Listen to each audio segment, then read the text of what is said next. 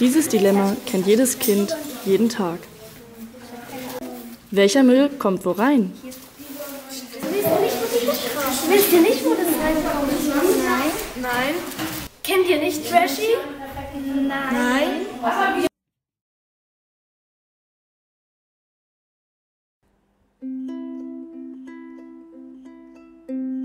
Hi Leute, ich bin Trashy und nehme euch mit auf eine Reise durch die Welt des Mülls. Entdeckt mit mir zusammen die Bedeutung und die Probleme von Mülltrennung in eurer Stadt. Ihr denkt, das wäre nicht nötig in Darmstadt? Dann schaut mal her. Hier seht ihr ein Beispiel für absolut schlechte Mülltrennung nach einer Wohnungsentrümpelung in Darmstadt. Anscheinend wussten die Erwachsenen nicht, wie man Müll richtig trennt und warum man das machen sollte. Aber nicht nur bei außergewöhnlichen Dingen wie einer Wohnungsentrümpelung gibt es Probleme. In ganz Darmstadt wird der alltägliche Müll nie zu 100% richtig getrennt. Schaut mal. Bei allen Haustypen landen falsche Materialien in den verschiedenen Mülltonnen. Betrachtet man die Restmülltonne in Darmstadt, befinden sich bei Hochhäusern 75% falsche Materialien in der Tonne und bei den Mehrfamilienhäusern sind es genauso viele. Die Familienhäuser sortieren immerhin 50% des Restmülls richtig.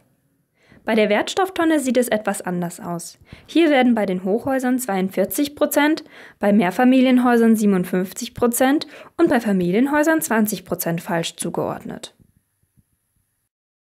Und dabei wäre es so wichtig, dass der Müll ordentlich getrennt wird, denn aktuell wachsen die Müllberge auf der ganzen Welt immer weiter. Um das zu verhindern, müssen wir Recycling vorantreiben. Am Beispiel einer Plastikflasche würde ein Stoffkreislauf so aussehen. Zuerst wird sie in die richtige Tonne entsorgt, sodass sie zerkleinert und sortiert werden kann. Anschließend wird sie in einer Fabrik zu einer neuen Flasche hergestellt. Erkennt ihr, was dahinter steckt? Müll ist nicht gleich Müll, sondern kann wieder ein wichtiger neuer Rohstoff sein. Auch eine Schuldirektorin in Darmstadt hat erkannt, dass sich was ändern muss. Ja, alle sind aufgescheucht, als wir gehört haben, wie viele Millionen Tonnen in den Meeren schwimmen.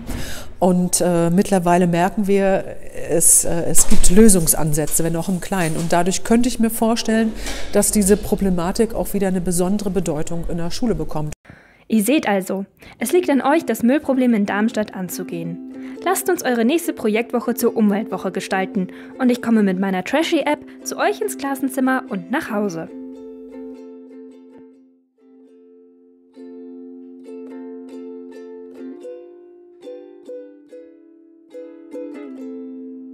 In meiner App werde ich euch erstmal zeigen, welche Müllsorten es gibt und wo die dann auch reingehören, also in welche Tonne.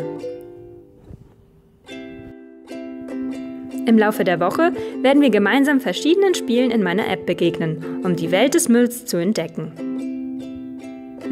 Beispielsweise werden wir uns im Meer dafür einsetzen, Plastiktüten rechtzeitig herauszufischen, sodass Meeresbewohner diese nicht essen. Oder ihr beweist anderen Teilnehmern aus eurer Schule in einem Quizduell, was ihr über Müll wisst.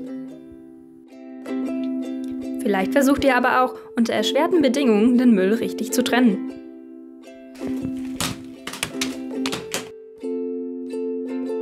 Bei all den Challenges sammelt ihr Trashy-Taler, welche euch helfen, Schulsieger der Umweltwoche zu werden. Gewinnt zusammen den Trashy-Pokal und einen Tagesausflug mit eurer Klasse.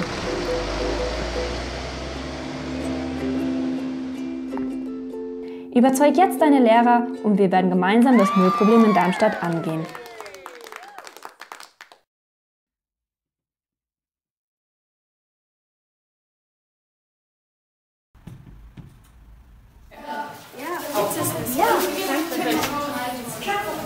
Jetzt wisst ihr es. Ja, danke.